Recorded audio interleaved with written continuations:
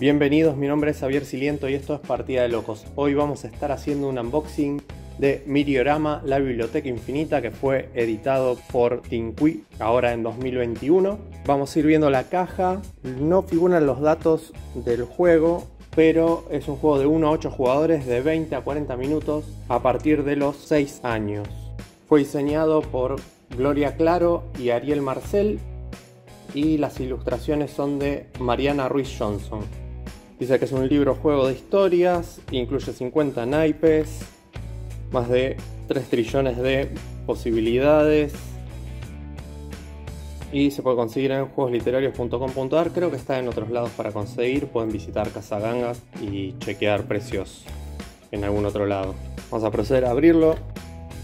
Mientras tanto, leemos la descripción de la BGG, que es la Board Geek, está subido el juego ahí. Y dice que es un juego ideal para crear y contar historias sin fin. Sé que tiene 7 sugerencias de juego, que los millogramas se pueden crear de manera individual, en grupos o colaborativa, y que las historias se pueden contar oralmente o por escrito.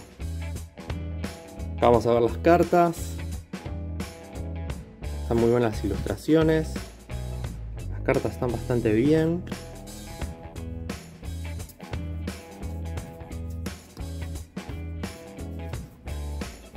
Muchos animales. No conozco mucho del juego, me contaron un poco. Gaby, el de los juegos, me contó un poquito de qué va el juego. Reverso de las cartas. Entiendo que hay que ir armando historias con las cartas a medida que las vamos bajando. El manualcito plegable de papel, parece estar laminado a color. de Tenqui.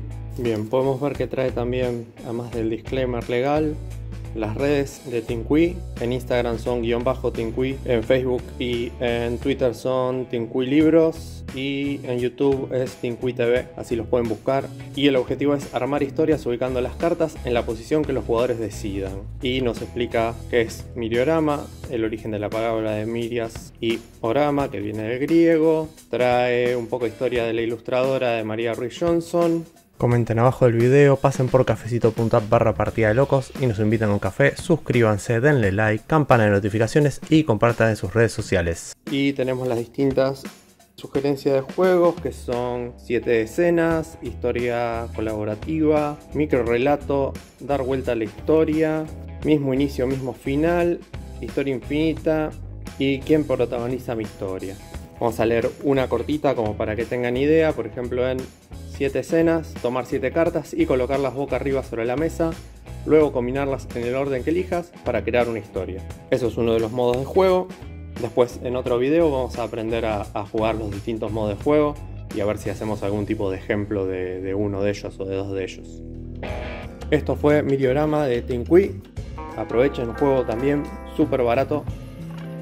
Recuerden, mi nombre es Javier Siliento y esto es Partida de Locos.